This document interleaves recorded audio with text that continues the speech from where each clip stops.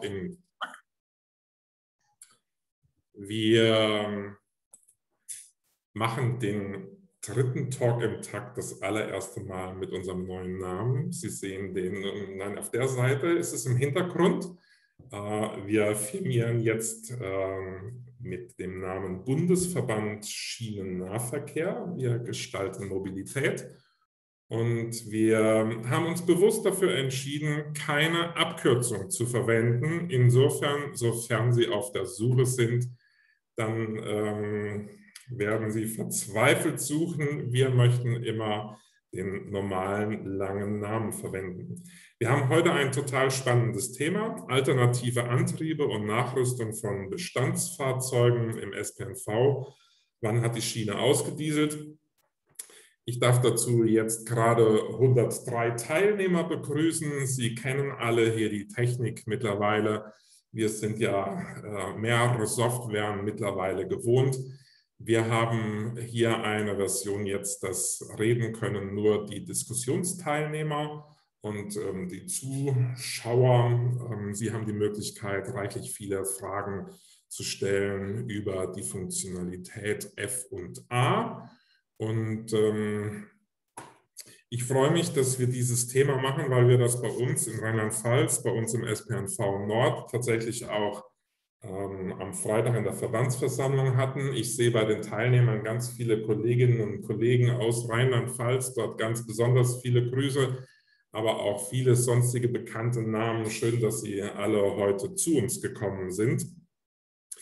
Wir haben ähm, das Thema, glaube ich, genau zur rechten Zeit aufgegriffen gehabt. Und äh, wir sind froh, dass das BMVI ein, ein Fördermitteltopf aufgemacht hat, gerade rechtzeitig, der uns alle auch unter einen gewissen Druck setzt.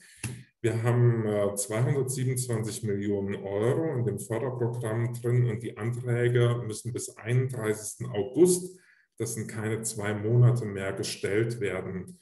Ähm, es ist schön, dass in dem Projekt eher viele Maßnahmen gefördert werden sollen und nicht nur einige wenige große Maßnahmen. Und insofern ähm, ist der eine oder andere vielleicht heute Abend auch noch zu ermuntern, einen Fördermittelantrag zu stellen. Und vielleicht ist es ja auch so, dass es ein bisschen mehr Nachfrage gibt als bislang an Geld. Und vielleicht sind dann auch die ein oder anderen MDB, die ich heute hier auch ganz herzlich begrüße, haben die Möglichkeit noch, ähm, sich darum zu kümmern, dass dort weitere Mittel zur Verfügung gestellt werden. Ich darf ganz herzlich unsere Referenten und Diskussionsteilnehmer heute begrüßen. Als erstes ähm, vom Umweltbundesamt Dr. Martin Lange. Er leitet das Fachgebiet 1 äh, Schadstoffminderung und Energieeinsparung im Verkehr und äh, bin ganz erfreut. Ähm, er hat in Leipzig studiert. Das ist meine Lieblingsstadt, in der ich selber viele Jahre wohnen durfte und äh, freue mich da in den Sommerferien auch wieder hinfahren zu können. Von Hause aus Physiker. Er hat eine Dissertation geschrieben mit so vielen äh, Kürzeln, dass man das gar nicht äh, richtig vorlesen kann, aber es, es ähm, mit Quantengräben war dort unter anderem dann zu lesen. Ansonsten ähm, hat er verschiedene Funktionen im Umweltbundesamt ausgeübt und ich freue mich sehr, Herr Lange, dass Sie heute Abend bei uns sind und äh, wir gleich auch den Vortrag hören können.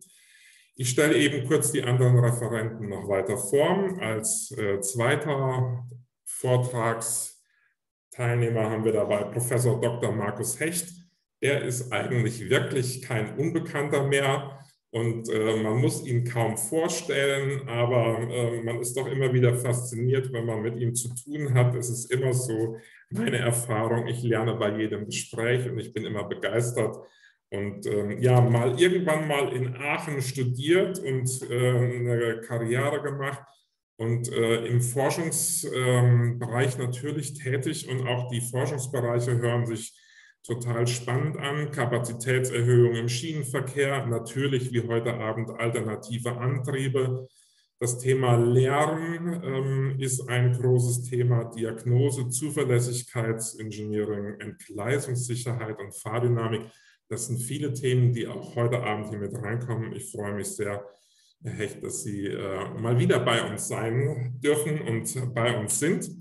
Ich freue mich, dass äh, wir vom Verband der deutschen Bahnindustrie den Thomas Milewski hier an Bord haben. Ähm, einer derjenigen heute, der eigentlich auch im Urlaub ist und ähm, dann extra für uns zugeschaltet ist.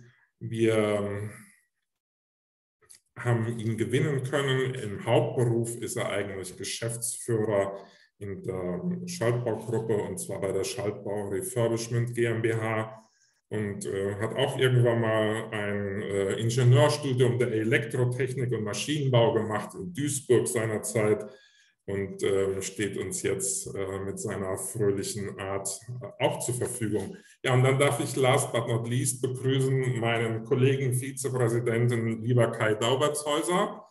Ähm, ich freue mich, dass du heute auch berichtest aus den Erfahrungen, die ihr in Hessen gemacht habt. Zum einen mit dem RMV, aber selber, du bist ja auch Prokurist bei der Pharma vielleicht gar nicht immer so vielen bekannt. Denjenigen Eingeweihten ist das ein Begriff so. Und ihr habt auch eine wunderbare Website, wo man über Fahrzeuge auch eine ganze Menge lernen kann, wenn man das denn gerne möchte. Und du bist äh, schon äh, eine ganze Zeit lang Vizepräsident und natürlich jetzt aus dem Präsidium heute Abend auch der Dienstälteste. Mein Name ist Thorsten Müller bin ebenfalls auch Vizepräsident in der BAG und von Hause aus Verbandsdirektor des SPNV Nord. Darf Sie alle ganz herzlich begrüßen. Wir sind jetzt 113 Teilnehmer. Einsteigen möchte ich mit dem Thema, ähm, dass alternative Antriebe eigentlich einen, einen super großen Lerneffekt haben. Das ist meine Erfahrung. Und ähm, ich lerne immer sehr viel dazu mit dem Thema, und ich habe ein Fahrzeug in dem letzten Jahr kennengelernt, ein Dieselfahrzeug zum Umrüsten, welches äh, fantastische Beschleunigungswerte hat, gute Fahrdynamiken hat, sehr gut eingesetzt werden könnte. Leider nicht mehr das ganz Neueste ist der VT644 von Talbot, ein diesel-elektrisches Fahrzeug, also eigentlich ganz viel hervorragende äh, Voraussetzungen mitbringt, um ähm, eine Umrüstung zu machen. Vielleicht traut sich auch jemand äh, tatsächlich dann noch da dran. Wir haben das selber für uns jetzt nicht weiter verfolgt. Auf jeden Fall äh, fand ich das sehr, sehr spannend, äh, dass wir gerade mit den dieselelektrischen Triebwagen sehr, sehr gute Voraussetzungen haben, um hier auch eine Umrüstung der großen Dieselflotten machen zu können.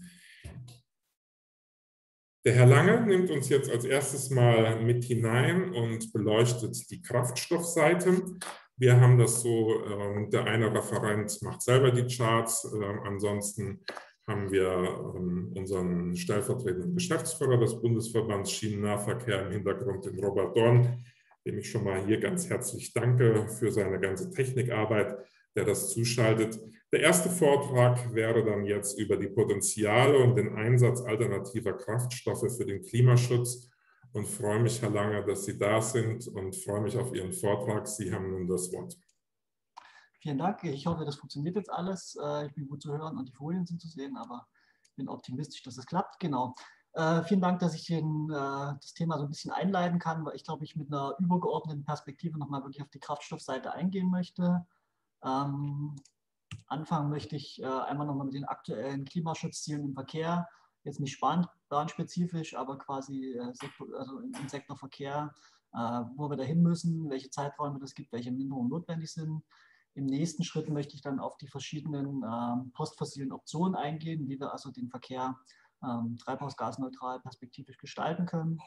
Was uns da eben die wichtigsten Punkte sind, das möchte ich im Rahmen der aus unserer Sicht da ganzheitlichen Bewertung aus Umweltsicht kurz vorstellen und dann am Ende nochmal kurz zusammenzufassen.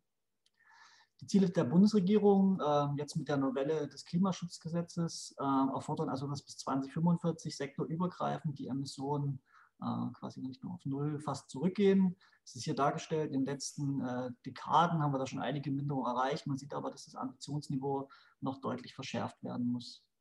Wenn man jetzt den Verkehr sich anschaut, hier unten in grün dargestellt, Dann sieht man, dass also 30 Jahre nicht allzu viel passiert ist, vielleicht was die Effizienz angeht schon, aber nicht was die Gesamtemissionen angeht.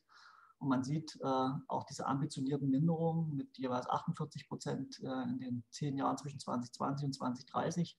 Und danach, äh, die sind sehr, sehr stark und wir werden also viel Wandel Richtung Verkehrswende, Energiewende im Verkehr benötigen.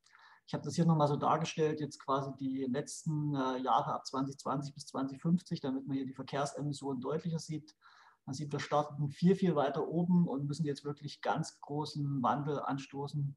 Sektorübergreifend muss man vielleicht so eine Minderung von knapp über 20 Prozent in der Dekade schaffen, im Verkehr wirklich 50 Prozent.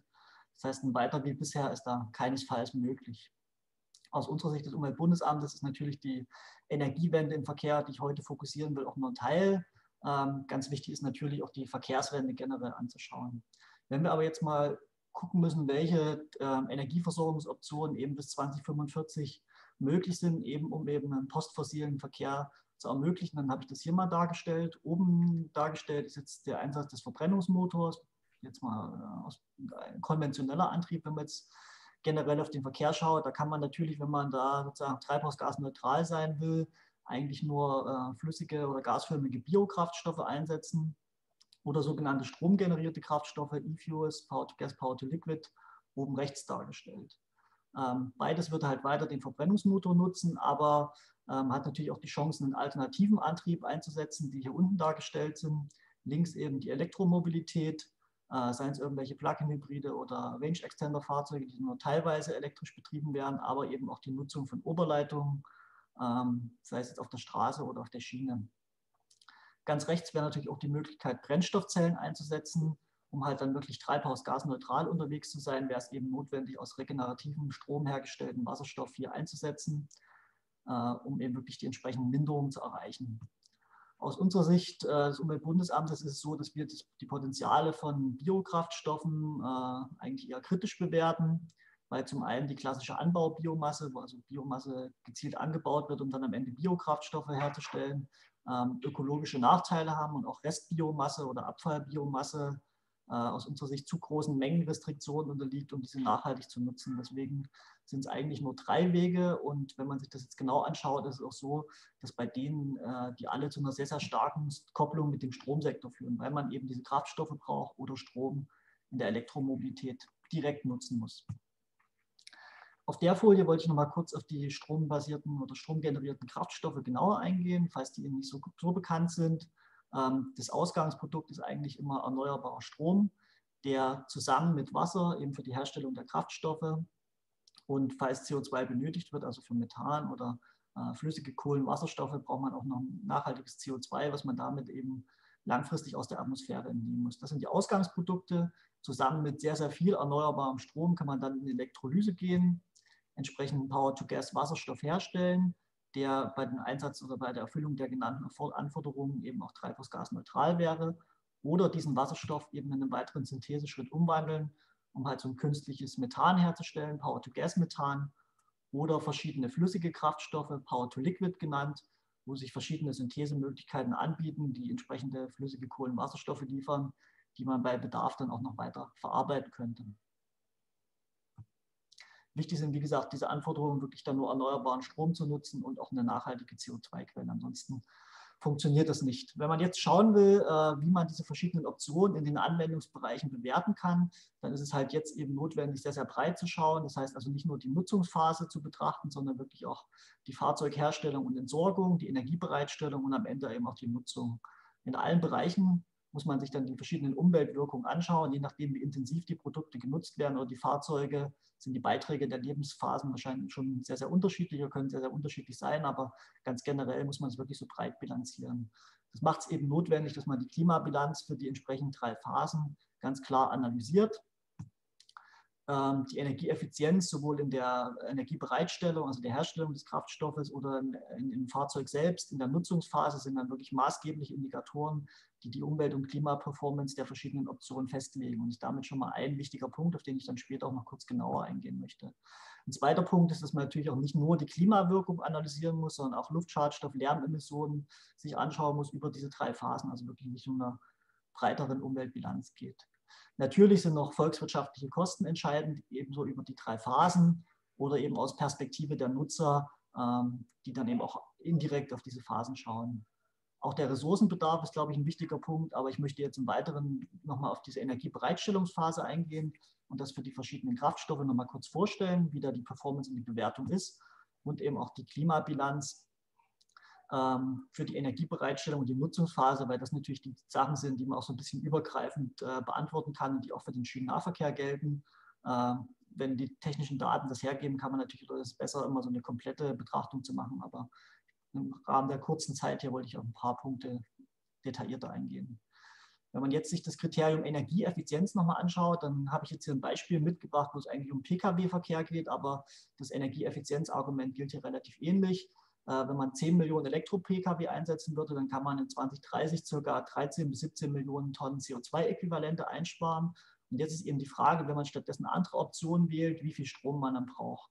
Hier ist jetzt nochmal, wie gesagt, dargestellt der Strombedarf für die batterieelektrischen Fahrzeuge. Und wenn man jetzt stattdessen diese strombasierten Kraftstoffe einsetzt, sei es jetzt äh, das Power to, den Power-to-Gas-Wasserstoff hier in der Mitte dargestellt oder den Verbrennungsmotor, wo man Power-to-Liquid einsetzt, dann sieht man, dass der Strombedarf aufgrund der viel, viel geringeren Effizienz mit der Herstellung und der Nutzung der Strombedarf viel, viel größer ist.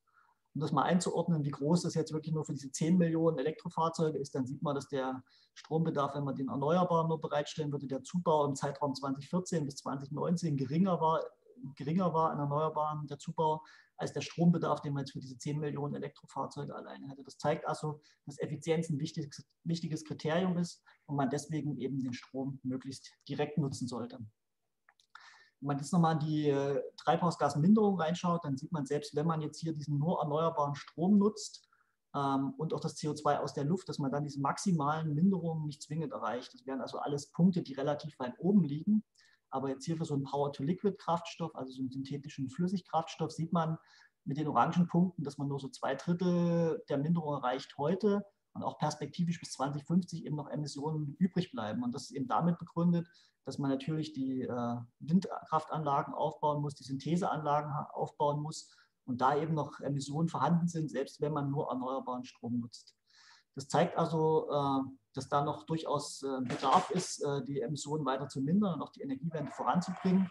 Und ein zweiter Punkt ist, dass auch deutliche Mehrkosten da sind. Das sind hier jetzt als gestrichelt dargestellt, ähm, sind einfach mal die Minderungskosten für die vermietene Tonne CO2, wo man sieht, dass da pro Liter Kraftstoff schon deutliche Summen zusammenkommen.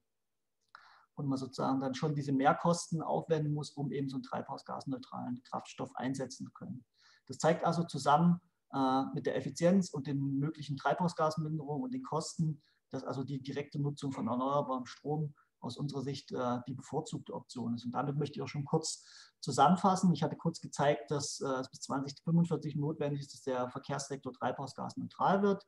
Man wird dann nicht nur mit der Energiewende auskommen, sondern die Verkehrswende, in der eben Vermeidung, Verlagerung und Verbesserung der Effizienz und des Verkehrssystems notwendig ist, um eben die Klimaziele zu erreichen. Da spielen eben klimaverträgliche öffentliche Verkehre eine besonders große Rolle. Das ist ja wirklich eine klassische UBA-Forderung an der Stelle auch. Und aus unserer Sicht ist die direkte Nutzung von erneuerbarem Strom, sei es jetzt über Oberleitung oder batterieelektrische Fahrzeuge oder Kombination von den beiden, immer energieeffizienter, klimaschonender und auch kostengünstiger. Das hatte ich äh, jetzt nur im Detail zeigen können, aber äh, deswegen ist eben die Option, sie zu bevorzugen ist und eigentlich eine Energiewende im Verkehr eigentlich das Kernelement sein muss. Ergänzend wird man trotzdem natürlich regenerativen, aus regenerativem Strom hergestellte Kraftstoffe benötigen, aber eben wirklich nur ergänzend. Ja. Und äh, innerhalb der verschiedenen Kraftstoffe, die man benötigt, sind trotz der hohen Kosten und der verbleibenden Treibhausgasemissionen äh, die strombasierten Kraftstoffe immer noch die vielversprechendste Option. Wasserstoff unter diesen jedoch noch die aus unserer Sicht teuerste Option. Äh, von daher wird man schauen müssen, wie weit man tatsächlich auf diese Option setzen will. Äh, und wichtig ist damit eigentlich aufgrund der Begrenzung und der großen Strombedarfe, die ich auch schon gezeigt hatte bei dem Effizienzbild, dass diese aus regenerativem Strom hergestellten Kraftstoffe wirklich nur dort eingesetzt werden, wo die Elektrifizierung nicht oder eben nur sehr schwer möglich ist. Das ist eigentlich eine weitere Kernforderung, ähm, die ich gerne bei den Fragen auch noch ein bisschen vertiefen kann. Damit möchte ich äh, für Ihre Aufmerksamkeit danken und äh, freue mich dann, Fragen beantworten zu können. Vielen, vielen Dank, Herr Lange. Äh, der Applaus, der virtuelle, gehört jetzt erstmal Ihnen so. Ähm, für diejenigen, die ein bisschen später dazugekommen sind, wir haben ja nicht die Möglichkeit, dass Sie hier selber äh, Fragen stellen können ähm, in Form ihrer Stimme, sondern Sie haben die Möglichkeit, unten gibt es einen Button F und A. Wenn Sie darauf klicken, können Sie Fragen reinschreiben, die wir nachher auch in der Diskussionsrunde aufgreifen werden. Nun freue ich mich auf den Vortrag von Herrn Hecht, wie der SPNV sich das Dieseln abgewöhnen kann. Herr Hecht, Sie haben das Wort. Vielen Dank. Herr Lange hat eigentlich die abstrakte Vorles äh, Vorlage genau gebracht, die ich jetzt in äh, unseren Bereich überführe. Zunächst mal die mit Diesel gefahrenen Zugkilometer. Sieht man, Fernverkehr spielt nicht so die Rolle, Güterverkehr schon ein bisschen mehr, aber dominiert natürlich der Nahverkehr. Also äh, ein Drittel der Nahverkehrs, über ein Drittel der Nahverkehrszüge wird mit Diesel gefahren. Dann hören wir oft das Argument, äh, dass wir emittieren ja weniger als ein Prozent des CO2, der CO2-Menge des Verkehrs. Also sind wir nicht so schlimm. Ich möchte das umkehren und habe jetzt mal ausgerechnet, wie viel CO2 der einzelne Dieseltriebwagen oder die einzelne Diesellok äh, emittiert. Und da ist es so, der Dieseltriebwagen äh, emittiert das mehr als 20-fache von einem gemittelten Lastwagen. Diesellokomotiven nur das Doppelte, wäre eigentlich das Vierfache zu erwarten. Aber wir sehen, unsere Fahrzeuge sind eben sehr, sehr viele Stunden äh, im Einsatz, sehr viel mehr als die Straßenfahrzeuge im Mittel und sind also gravierende Verschmutzer. Also das muss man sagen, wenn ich jetzt vom, vom Emittenten ausgehe, sind wir die Schlimmsten und müssen unbedingt da vorangehen.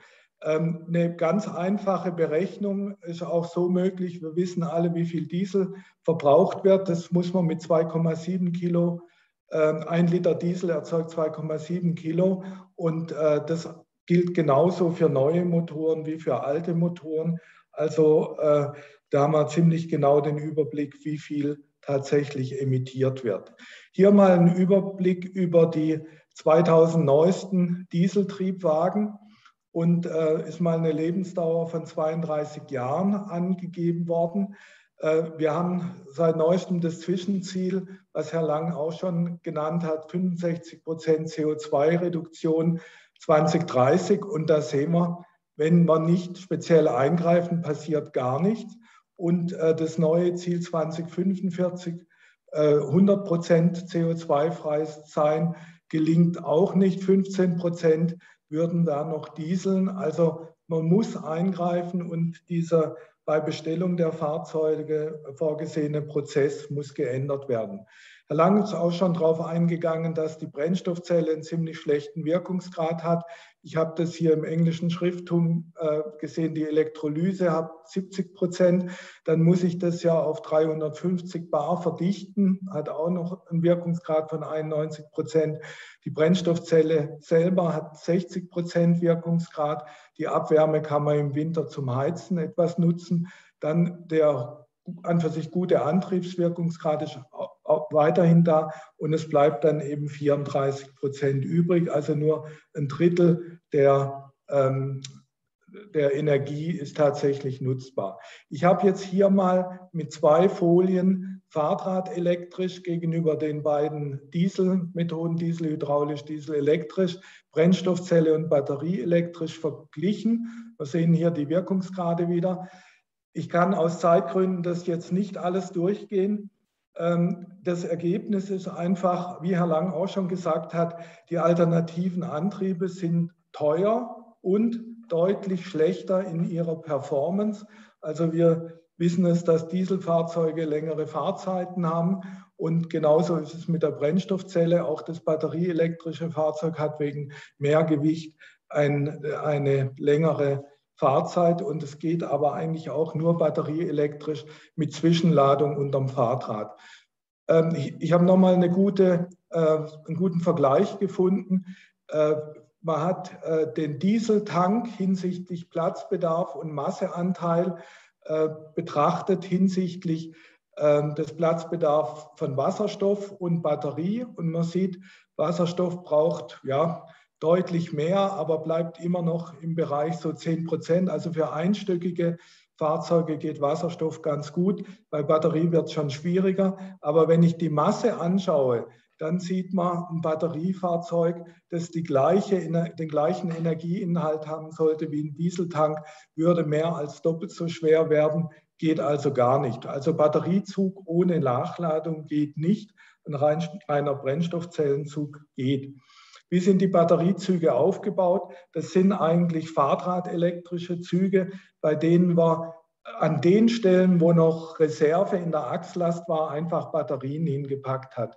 Äh, hier ist der Trafo, da ist also die Achslast am Anschlag. Und äh, je weiter man dann vom Trafo wegkommt, umso mehr Batterien kann man unterbringen. Äh, unter der Fahrleitung wird eben der Strom für den Antrieb aus der Fahrleitung bezogen und gleichzeitig noch die Batterie geladen. ohne Fahrleitung muss ich dann die Batterie nutzen. Jetzt ähm, Neuelektrifizierung, also es kommt ganz klar raus, äh, Elektrifizierung ab Fahrrad wieder, was der Herr Lang auch schon gesagt hat, ist mit Abstand das Beste. Es war auch ganz im aktuellen äh, Koalitionsvertrag mit zwei Zeilen erwähnt. Bis 2025 wollen wir 70 Prozent des Schienennetzes in Deutschland elektrifizieren. Mit einer neuen Förderinitiative wollen wir regionale Schienenstrecken elektrifizieren. Also nach Koalitionsvertrag wären 2025 23.100 Kilometer elektrifiziert, also 3.100 Kilometer neu. Ähm, DB Netz hat vor 1200 Kilometer bis 2030 zu elektrifizieren. Also viel später, viel weniger. Also eine krasse Zielverfehlung, ich sage es mal so, so ganz deutlich. Und äh, die Lösung des BMVI ist jetzt äh, eine Bezeichnungsänderung.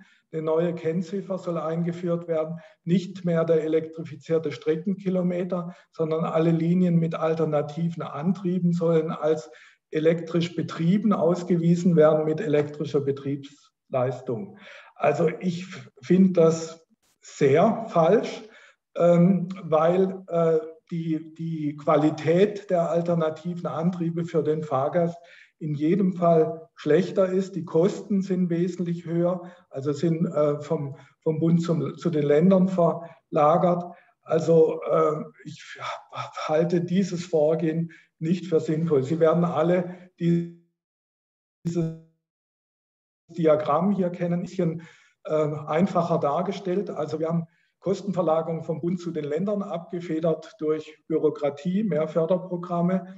Wir haben wesentlich höhere Betriebskosten als unter Fahrrad. Wir haben eine wesentlich schlechtere Fahrdynamik, was nicht nur längere Fahrzeiten bedeutet, sondern wir brauchen mehr Personal und auch mehr Züge. Also äh, die Betriebskosten steigen eben stark an und die Attraktivität geht zurück. Und äh, wir wollen ja größere Bedienhäufigkeit äh, erreichen, da schlägt dies, schlagen diese Nachteile noch mehr durch. Also wir können eigentlich nicht mehr Züge bestellen, ähm, weil eben diese Kosten so viel höher sind. Wie immer bei der Eisenbahn war ja die meiste Innovation schon mal da. Ähm, Akkutriebwagen gab es schon bei der preußischen Staatsbahn, die dann sogar noch die Bundesbahn erreicht haben. Auch die Reichsbahn hat noch ein paar gefahren. Die hatten nur eine Reichweite von 250 Kilometer pro Ladung. Es sind dann neue Akkutriebwagen bei der Deutschen Bundesbahn in den 50er Jahren entwickelt worden, die mit gro sehr großen Stückzahlen, 230 Stück, bis 94 gefahren sind, Reichweite bis 400 Kilometer pro Ladung. Und das ist natürlich zu wenig, brauche ich Ihnen nicht erzählen. Also es sollten besser das Doppelte sein. Und die Ausmusterung 94 war eigentlich nicht, weil die Fahrzeuge durch waren, sondern eine Nachrüstung mit Panto und Trafo ging nicht, weil das Gewicht äh, nicht äh, zu groß war, vor allem vom Trafo. Ich durfte das als Assistent dann auch damals noch Diplomarbeiten betreuen, leider mit dem Ergebnis geht nicht und die Fahrzeuge sind dann eben in Schrott gewandert. Also konsequent, ja, ich wiederhole wieder mal Herrn Lang, ähm, Herr Lange, Fahrrad nutzen, wo vorhanden und wenn irgend möglich schnell weiter elektrifizieren. Ähm, wir durften mit ähm, Geldern der Mobilitäts- und Kraftstoffstrategie der, des BMVI ein Dieselnetz untersuchen, Sachsen-Anhalt. Hier links ist die Karte dargestellt, alle rot hinterlegten Strecken sind elektrifiziert, die schwarzen sind nicht elektrifiziert und 54 Dieseltriebwagen Lind 41 fahren hier. Also 18 Prozent der Linienlänge ist elektrifiziert. Wir haben vier Grundsatzvarianten überlegt, äh, mit der untersten fange ich mal an. Also das ist eigentlich das, das Fahrzeug Lind 41, wie sich hier darstellt, mit äh, Dieselmotor, Getriebe, hydraulischem Wandler und Achsgetriebe. Und da haben wir überlegt, wir äh, bauen einen, einen Tender. Äh, der Lokführer kann durchgucken, die ähm, durch das Portal Stromabnehmer, Trafo, Batterie, Elektroantrieb ist da und äh, die Ergebnisse der Dieseleinsparung waren ernüchternd, weil dieses Teil eben so schwer ist. Also wir haben wirklich gedacht, äh, wir brauchen dann nur die Antriebssteuerung ändern, was natürlich auch schon ein großer Teil ist. Ähm, und äh, das Ergebnis ist so mager, deshalb muss das verworfen werden. Dann die äh, Idee, die auch von der Industrie weit vertreten wurde, den Dieselmotor durch ein Hybridmodul mit Dieselmotor, E-Motor und Generator zu ersetzen und auf der anderen Seite den Dieselmotor einfach durch einen Elektromotor zu ersetzen, führt auch zu einer kleinen Dieseleinsparung, 22 Prozent, weil eben der Fahrdraht gar nicht genutzt wird. Also da ist, da ist die Elektrifizierung von 18 Prozent überflüssig. Die großen Schritte kommen dann, wenn ich einen Stromabnehmer draufsetze, Trafo und Batterie vorsehe.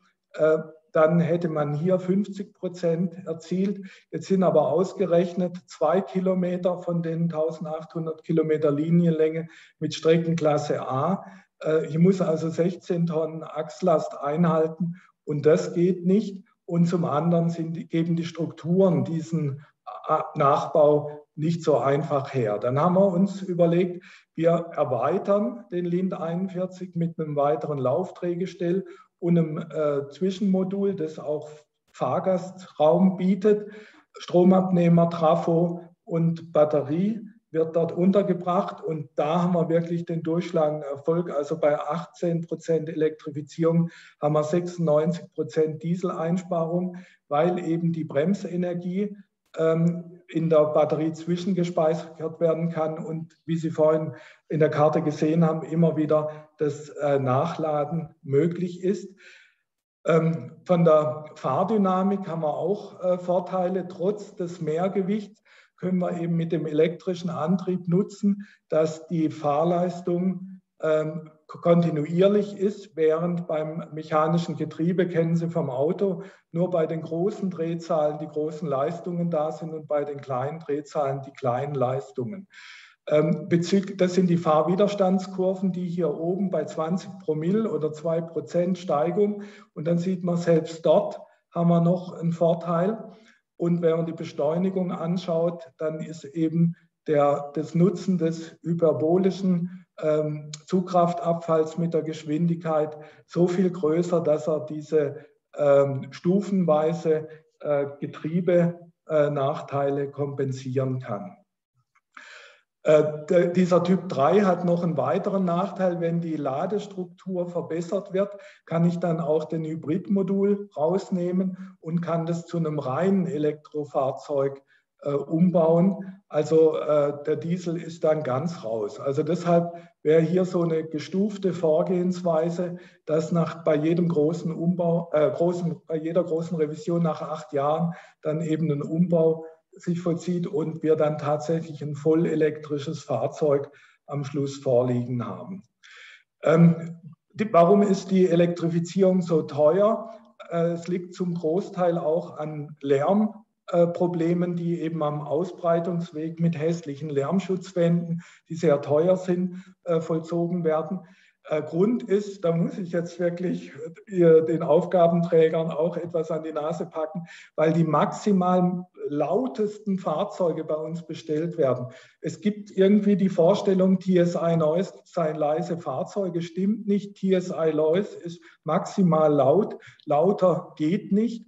Und ähm, TSI Noise ähm, hat noch einen weiteren Nachteil, dass verschiedene Betriebszustände auf- und Abrüsten und Bogenfahrt eben nicht enthalten sind.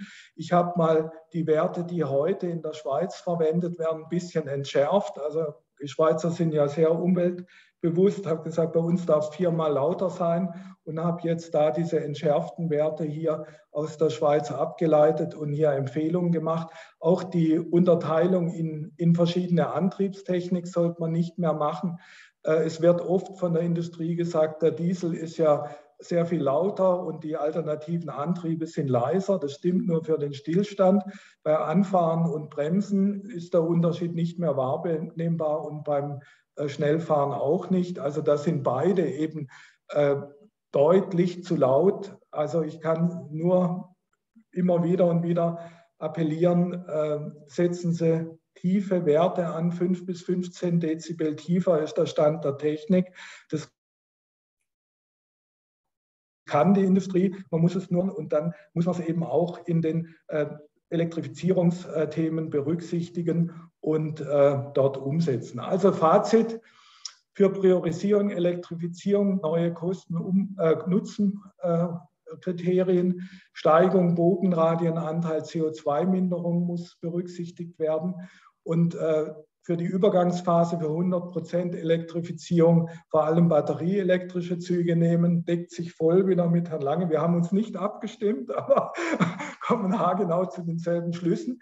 Dann Nachladung. Äh, in Schleswig-Holstein wird es jetzt mit 16,7 16 Hertz gemacht, sehr, sehr teuer. In, in Baden-Württemberg macht man es jetzt dann mit 50 Hertz, kostet weniger wie ein Drittel. Und äh, 50 Hertz 15 äh, kV ist ein fünftes europäisches Stromsystem, das im Moment gerade in der Normung befindet. Also das ist wirklich ein sehr, sehr kosteneffizientes Nachladesystem. Also jüngere Dieseltriebwagen umrüsten, Umläufe und Nachladeabschnitte so, dass keine Stillstandszeiten für die Ladung auftreten und äh, bis die 100% Elektrifizierung dann auftritt, kann ich sukzessive die batterieelektrischen Züge in reine E-Triebwagen zurückbauen.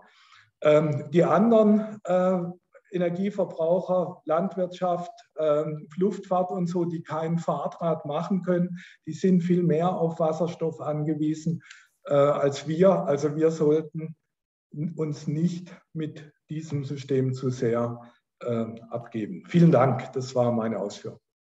Vielen Dank, Herr Hecht. Dann gehen wir jetzt einen Schritt weiter und hören uns mal an, wie das auch praktisch zurzeit schon erfolgt und was auch die deutsche Bahnindustrie dort an Beitragen leisten kann. Und deswegen freue ich mich jetzt über den Vortrag von Thomas Milewski. Fahrzeugumrüstung bei Bestandsfahrzeugen, Chancen, Risiken und Möglichkeiten in der zweiten Lebenshälfte. Und wir sehen jetzt ganz viele Bilder. Herr Milewski, Sie dürfen. Naja, äh, schönen guten Tag erstmal. Ich hoffe, Sie sehen auch meinen Vortrag. Bestens. Ja. Bestens, ja. Also ich habe mir mal äh, Mühe gegeben. Äh, ein bisschen Werbung kommt immer äh, als erstes. Also bin Vizepräsident äh, oder Mitglied des Präsidiums beim VDB. Der eine oder andere kennt mich. Ähm, ich war nicht sicher, ob Sie eine Abkürzung finden oder nicht. Ja, deshalb habe ich ein Fragezeichen dahinter gesetzt und schon der erste Fehler. Es gibt gar keine Abkürzung. Ähm, ähm, ich werde es mir dann beim nächsten Mal merken. Ja, wer bin ich überhaupt? Ähm, mein Name und eigentlich sollte jetzt, wenn alles klappt, ein Bild einliegen. Da kommt, so sehe ich aus, bin 56 Jahre und so ein bisschen in der zweiten Lebenshälfte wie die vielen Fahrzeuge, die gerade vom Professor Hecht auch gezeigt wurden. Ähm, ja, ein bisschen Werbung zu uns. Stadtbau. Ähm, der Namensgeber sitzt in München, macht hauptsächlich unzahlbaren äh, grünen kleinen Schalter. Ähm, jeder von Ihnen ist schon mal durch eine Bodetür in München gegangen oder musste vor einem Bahnübergang der Firma Pinch warten. Uns Schalper Refurbishment hat man 2015, 2016 gegründet, um solche Maßnahmen wie Modernisierung und Teilmodernisierung, aber auch Komponentenmodernisierung anzustoßen. Ja, was, was wollen wir überhaupt? Ja, also das wollen wir doch alle nicht. Und nicht irgendwie da. Ist jetzt kein Nahverkehrszug, aber äh, links wollen wir nicht, rechts wollen wir. Was haben wir gemacht in den letzten Jahren? Auf solche Fahrzeuge wie in Linz äh, haben wir neu aufgebaut. Ganz tolles Nahverkehrsfahrzeug, ja, aber wirklich altes Fahrzeug, neu aufgebaut, aber ähm, alles elektrisch gesprochen. Ich möchte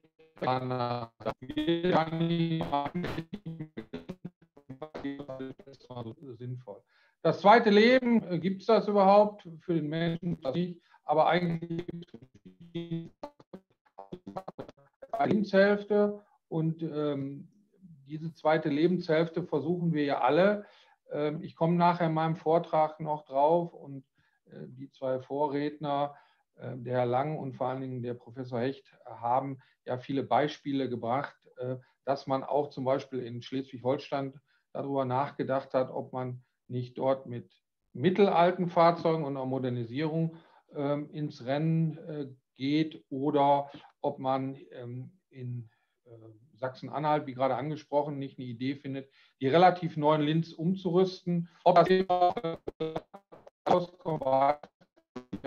ich weiß, dass ich sowas ähm, vor nicht allzu langer Zeit mal an so einem schönen Alternativfahrzeug gemacht habe. Leider hier noch nicht mit einem alternativen Motor, kommen wir gleich noch drauf. Aber um Umrüstung überhaupt in Betracht zu ziehen, ist ja die Frage, äh, was ist es? Ist es eine Chance? Ja?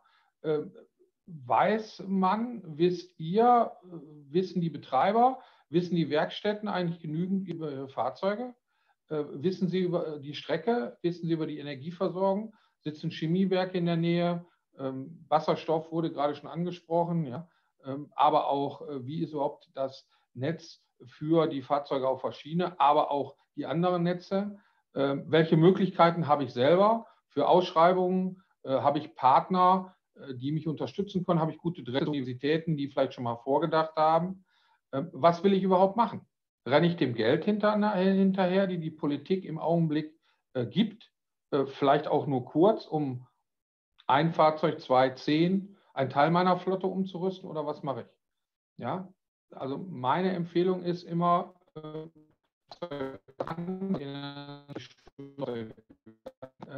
was will ich genau machen? Was sind genau meine Bedürfnisse? Ja, die Risiken, die muss man auch immer betrachten. Ja? Habe ich überhaupt die Rechte an den Fahrzeugen? Professor Hecht hat es gerade erwähnt, äh, mit, ja, ich weiß nicht, der Hänger in äh, Schleswig-Holstein gibt es einen Fahrzeughersteller, der hat so einen, so einen Tender mal Sprotte genannt, glaube ich. Ja habe ich überhaupt die Rechte an den Steuerungen oder kann ich heute überhaupt in die Steuerung angreifen? Ähm, Konzepterstellung. Ähm, gerade wurden vier Konzepte gut beschrieben. Ich denke, man muss nicht mal alles neu machen. Man kann sich in Deutschland ein bisschen umschauen. Ähm, was will ich machen? Vor allen Dingen wichtig, wie immer im Leben, deshalb auch immer mal ein Bild so aus dem Leben heraus, was will ich überhaupt nicht machen? Ich glaube, das ist immer das, äh, wichtig. Ich glaube, Sie, Herr Müller, haben vorhin gesagt, dass Sie äh, auch für sich und Ihr Umfeld entschieden haben, dass Sie bestimmte Dinge nicht machen wollen. Und ich glaube, das ist eine ganz wichtige Entscheidung. So belaste ich nämlich meine eigene Organisation nicht. Ja. Habe ich das nötige Personal? Auch das ist aus meiner Sicht, Sie haben vorhin gesehen, ich bin 56 Jahre, ich habe bei der Deutschen Bahn, da hieß es noch Bundesbahn gelernt und ich habe noch die äh, Ladestation im Oberhausener Bahnhof selber repariert, damit dort ETAs geladen werden konnten. Ähm, ich war einer der Letzten, der sich damit beschäftigt hat. Habe ich überhaupt das Personal, um, um die alten Dinge und die neuen Dinge äh, überhaupt äh, machen zu können? Muss ich Personal aufbauen? Ganz schwieriges Thema in der heutigen Zeit. Und ähm, das hat keiner von Ihnen ähm, gerade besprochen. Der Herr Lang, denke ich mal, auch so und so nicht, aber auch äh, Herr Hecht. Ja. Ein Riesenthema seit Jahren ist die Zulassung. All das, da wurden 16 Tonnen Achslast. Das ist nur ein Nebenschauplatz. Kriege ich Fahrzeuge, wenn ich irgendein Bit ändere, überhaupt zugelassen? So. Kommen.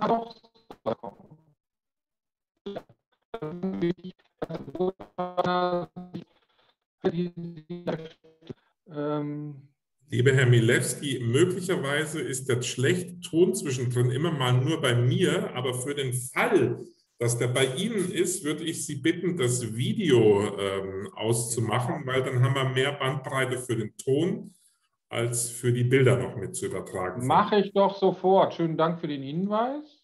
Schauen wir mal. So, ich hoffe, der Ton ist jetzt stabiler. Also äh, die Frage, bei der ich stehen geblieben ist, einfach für jeden und auch für Gruppen. Und dafür gibt es ja ähm, auch Verbände, dass man sich gegenseitig austauscht, Chancen und Risiken, vielleicht auch über gleiche Fahrzeugtypen, gleiche Fahrzeugflotten auszutauschen. Ganz wichtige äh, ähm, ganz wichtiger Ansatz aus meinen über 20 Jahren Modernisierung. Und äh, dann kommen wir zu den Möglichkeiten. Ja, das Fachwissen, ähm, keiner der Betreiber kommt umhin, ähm, sowohl für die bestehende Flotte als auch für neue Technologien Fachwissen aufzubauen. Ja, so wie sich äh, die Menschen jetzt Fahrzeuge betreiben, betreuen, warten, in das Technikwissen eingearbeitet haben, müssen sie in die neue Technologie einbringen. Äh, äh, Und aus meiner Sicht ist das ein ganz entscheidender Punkt. Ja, ähm, grundsätzlich ist es kein neues Produkt. Es fährt nämlich weiter mit Stahlrädern auf Stahlschienen. Und die, die äh, Regellage ähm, ist und bleibt äh, gleich. Nur die Antriebstechnik ändert sich. Und dann, siehe hier, kriegt man vielleicht aus so einer 125er Zünder vielleicht doch irgendwann mal so etwas ähnliches wie eine Zero 125. Ob es wirklich der bessere Weg ist, weiß man nicht, aber ich glaube, ähm, es ist ein Weg. Ja, Gründe für die Modernisierung äh, waren bisher immer äh, möglichst das finanzielle Mittel, das Kapital gut einzusetzen, die zufriedenen Fahrgäste. Es gibt viele Beispiele, äh, dass mehr Menschen auf die Schiene gekommen sind, gegangen sind ähm, als Umsteiger. Und ich glaube, das ist ein Weg, den wir unbedingt fortsetzen müssen. Ähm, ich habe es mal aufgerissen. Bisher waren die Leistungselektronik, die Steuerungselektronik, Heizung, Türen, Rostsanierung, Interieur, Toiletten, all das kennen Sie, Fahrerpulte. Bei den Hauptuntersuchungen, Herr Professor Hecht hat es auch erwähnt, nach, ich sage mal, acht Jahren wurden äh, teilweise äh, diese Dinge mitgemacht. Das kennen wir alles. Und ich habe ein paar Beispiele auch nicht aus dem Regioverkehr, ähm, sondern die auch durch die Presse gehen, die Traktionsmodernisierung im ähm, Einserkopf, teilweise im Zweier, die Trucks wurden mal hochgerüstet, die Ludmilla wurde mal remotorisiert. Bei Stadt- und Straßenbahn gab es Schaltwerkserneuerungen äh, Richtung äh, Traktion. Ist das aber das, was uns jetzt treibt? Nee, eben nicht. Jetzt bekommen wir politische Vorgaben. Und es ist ja nicht so, dass das alle Vorgaben aus den Landeshauptstädten der Bundesländer oder aus Berlin kommen. Es kommt auch aus äh, Brüssel sehr viel. Und äh, vieles, glaube ich, ist sehr ambitioniert. Ähm, aber ich denke, wir haben Möglichkeiten, das umzusetzen. Ähm, darauf haben äh, die Kollegen schon abgezielt, 227 Millionen. Ähm, ja, 31. August, äh, kurze Zeit, viel zu tun. Das kennen Sie alle, wurde auch schon gezeigt. Hier sieht man, ich bin nicht ganz konform mit einigen Aussagen vom Professor Hecht, ähm, weil ich denke, äh, nicht nur die Ladung unter, der, unter dem Fahrrad ist ein richtiger Weg. Ich glaube auch, an Knotenpunkten kann man heute relativ schnell und zügig direkt auf die Batterie laden, vergleichbar mit Bussen. Aber das sind Details. Das ist, glaube ich, auch kein Dissens. Äh, man muss sich nur entscheiden, äh, mache ich es? Und wie man hier sieht, ähm, glaube ich, ist auch die Kapazitätsgröße der Batterien ähm, heute gut äh, bestimmbar und auch gut ausrechenbar. Will aber direkt sagen, es geht nichts über Oberleitung. Das wäre das ideale Ziel. Nur äh, da kriegt, äh, kriegen wir es gemeinschaftlich, DB Netz, äh, mit äh, den äh, Firmen aus der Bahnindustrie einfach teilweise auch nicht hin, weil uns Personal einfach fehlt. Ja. Wir kriegen es einfach auch nicht hin. So, ich habe mal eine, eine Lok genommen äh, vom Udo Pinders von Reuschling. Ja, also äh, so ein klassischer Dreiachser, den kann man schön neu remotorisieren, kann dann da Biodiesel reintun. Ob das der richtige Weg ist, äh, wurde schon gesagt. Ich glaube auch politisch nicht, aber auch äh, sonst nicht. Halte ich äh, nur bedingt was von. Man kann, ich habe den äh, Stromabnehmer jetzt mal vergessen, man kann natürlich einen Stromabnehmer drauf machen. Man kann das Ganze hybridisieren. Man kann Wasserstoff einbauen werde auch gleich noch davon ausgehen, wieso ich hier auch eine, eine Lok der Kollegen vom Güterverkehr genommen habe. Denn die sind aus meiner Sicht schon viel weiter. Die haben viele Demonstratoren oder Versuchsträger gebaut. Die will ich jetzt mal kurz ähm, ansatzweise einspielen und dann ein paar provokante Fragen stellen. Die Österreicher haben ihre 1063 sowohl mit Wasserstoff als auch mit Batterie schon mal ausprobiert. Äh, die Deutsche Bahn hat relativ lange gebraucht, um einen neuen Ansatz äh, mit dem Projekt Helms zu finden. Ähm, auch da sage ich mal ein bisschen forsch, ob das der richtige Ansatz war mit der Komplexität über so ein Kunstwerkgetriebe, muss man mal ähm, hinterfragen. Hat sehr lange gedauert, ist auch ein Kritikpunkt meiner Ansicht nach. Hier 2019 hat die Firma Toshiba mal abgeleitet aus ihrem Neubauauftrag äh, eine Lok mal als Demonstrator dargestellt. Man konnte sich das anschauen, was so geht und was so nicht geht. Ähm, Alstom hat äh, bewiesen, dass man es auch in einer Serie machen kann. Die DB hat vor Jahren mal auf Gas gesetzt. Meines Wissens nach wurden alle Loks wieder umgebaut. Ähm, das ist mal ein Bild, das kennt der ein oder andere sicher, stand in Kiel am Hafen.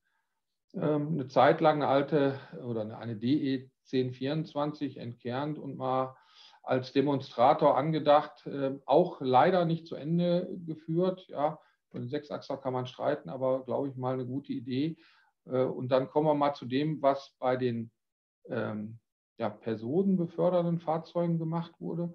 Bin da nicht ganz so in, der, in jeder Tiefe drin, aber meines Wissens nach gibt es eigentlich nur dieses Fahrzeug hier, was mal wirklich angepackt wurde und auch mit großem Aufwand und großen technischen äh, Umbaumaßnahmen, Klammer auf, vielleicht provokativ, auch leider nicht zum Erfolg geführt wurde. So, was haben wir noch in Österreich? Hat Siemens äh, mit der ÖBB meines Wissens nach mal hm, Batterie Desiro HC auf die Beine gestellt. Ob man das wirklich als Modernisierung, Umbau bezeichnen kann, können wir auch mal diskutieren. So, ähm, Wasserstoffzug, der fährt. Äh, als Umbau habe ich nur in England gefunden, also oder jedenfalls nicht in Deutschland. Auch bezeichnend. So, ähm, ja, oder doch neu. Ja, all diese Züge kennen Sie, die Stadlers, Siemens, Alstoms, auch die KAF dieser Welt ist nicht äh, äh, binden. Die haben ihre Serienfahrzeuge inzwischen so weit, dass sie eigentlich wählen können für jeden Anwendungsfall. Äh, bezeichnend ist, und äh, da fliege ich dann nochmal in meinen Bildchancen und Risiken, ja, die Zulassung, ein Riesenthema. Ähm, auch da im Detail, glaube ich, kennen Sie das besser als ich. Ähm, ich selber habe in vielen Modernisierungsprojekten äh, die Technik bewältigt, bin aber fast immer an der Zulassung verzweifelt. Am Ende hat es gepasst, aber es ist immer ein sehr unterschätztes Thema, sowohl von den mittleren, kleineren, aber auch von den ähm, großen GU in, in Umbauphase. Deshalb immer Zeit einrechnen. Ähm, der ein Drittel des Neupreises für eine Modernisierung ist das heute noch der richtige äh, Ansatz. Was kommt sonst noch?